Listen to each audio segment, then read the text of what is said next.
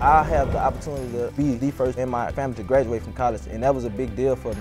Many people look at me crazy for passing on the NFL. People always tell me it was a lot of money that I passed up on. But a couple more months without having something that we never had our whole life is not a big deal.